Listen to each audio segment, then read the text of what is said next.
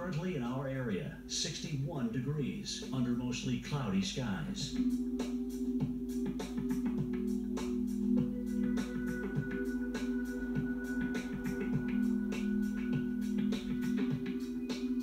Today, mostly cloudy. High 68. Winds east southeast at 10 to 20 miles per hour. Tonight, cloudy intervals.